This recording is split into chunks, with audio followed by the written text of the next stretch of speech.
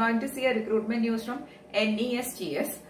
So we are going to see all details regarding this recruitment. Okay, so NESTS is actually National Education Society for Tribal Students. Okay, and there is a lot of openings, a lot of categories for which the recruitment is happening. So we are going to see all details regarding this recruitment. Okay, so NESTS is National Education Society for Tribal Students and they are recruiting for the post of, actually they are recruiting for various categories.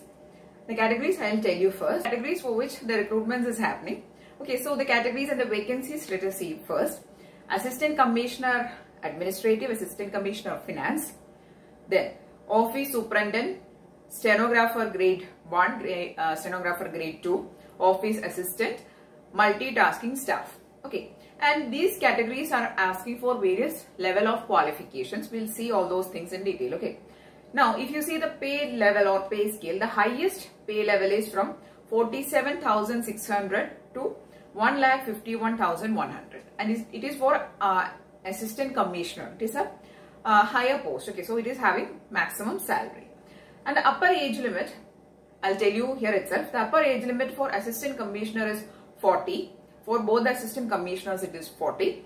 Then for office superintendent, it is 35. Stenographers, it is 30, maximum age limit. Then office assistant is 27. Multitasking staff is 30. Okay, so these are the higher age limits. Now, uh, the pay scale and all, you can see in the notification, I've already told you what is the highest pay level. Now, talking about the stenographer's pay level, I'll tell you that, that also. For stenographer grade 1 and grade 2, for stenographer grade 1, it is from 35,400 to uh, 1 lakh 12,400. Then for grade 2, it is 25,500 and above. Okay, that is uh, from that scale, it is a pay scale. Next for multitasking staff, it is 18,000 plus allowances. Okay, so these are the pay scales. We have already seen the age limit.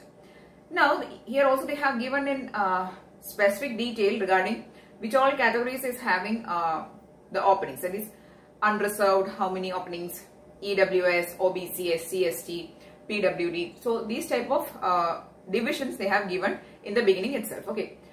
And if you examine that, maximum opening is for unreserved category only. So you don't get any specific benefit if you are belonging to the reserved category here because the maximum opening uh, is actually for the unreserved. Okay, so you have to write the examination as unreserved itself.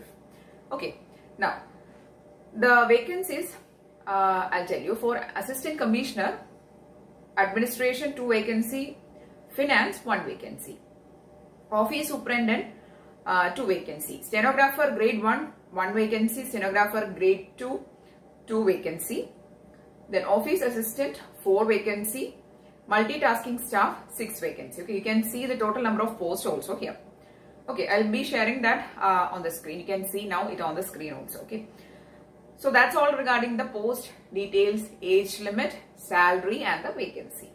Now, let us see the application fees first itself because some people may find it difficult or it is too much.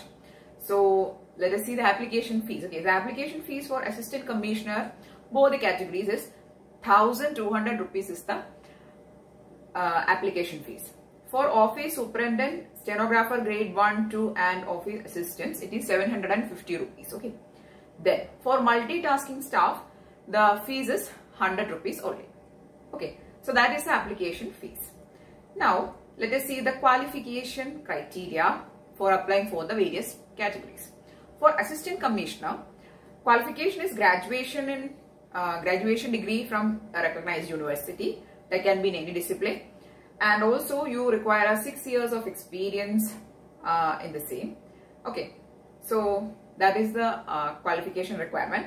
Also same is for assistant commissioner of finance. Next office superintendent. You should be having bcom with 50 percentage of mark in aggregate and at least four years of experience. Okay. So all these categories are actually asking for experience.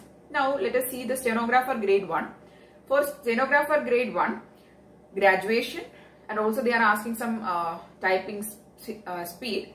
And also for grade 1 they are asking experience. But for grade 2 they are not asking experience okay? So for grade 1 you should require 3 years of working experience.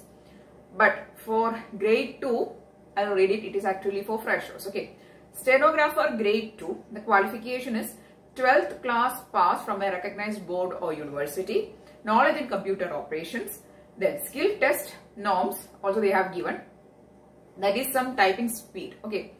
Uh, so here the qualification is 12th 12th and com uh, computer operation knowledge. That is only required. No experience or anything they are asking. Okay. So if you are a fresher you can apply for stenographer grade 2 okay.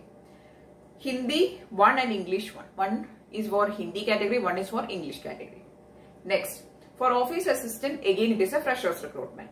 So bachelor's degree in any discipline or equivalent that is the qualification for office assistant. For multitasking staff, you are requiring a matriculation that is 10th class pass. Okay. So that is the uh, qualification requirement for multitasking staff. So that is all regarding the uh, the qualification requirement. So all the higher end posts are actually asking for experience, but the uh, post from stenographer grade 2, then office assistant and multitasking staff, they are for freshers. Okay. So if you are interested in applying and if you are a fresher, please to have a look on these areas. Other areas you can skip. Okay. So we have seen the qualification also. Now talking regarding the selection process, actually we'll be doing it as a separate video because in this notification, they have actually given all the details regarding the selection process.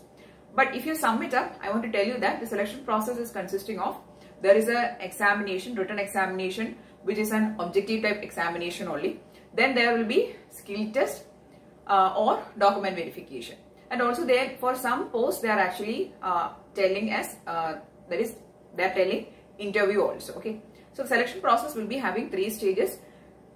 Written examination which is an objective type computer based examination or an OMR based exam.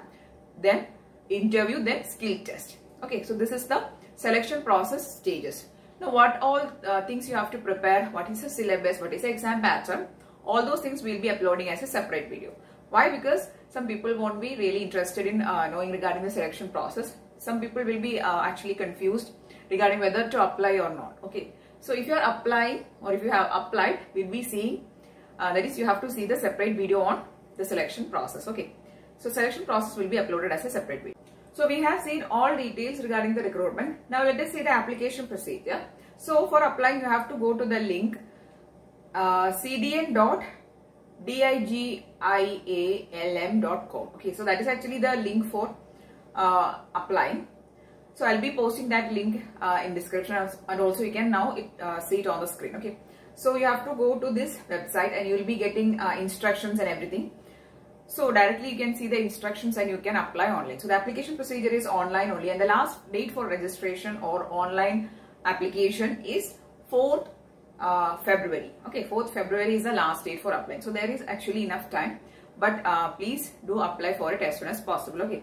So uh, we have seen all details regarding the recruitment uh, from NESTS. Okay. So if you are interested uh, in this job or in this recruitments, if you are interested in applying for any of the posts, please see the notification in detail and apply for it as soon as possible. The date of examination, everything they have not actually mentioned. Only the last date for application is given. Okay.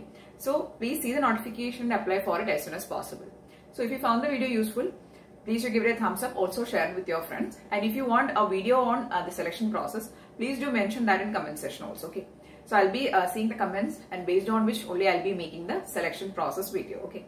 So we'll be seeing all details regarding the selection process, the uh, marking scheme, the scheme, the, uh, the syllabus, the exam cities, everything we'll be seeing in that video. Okay.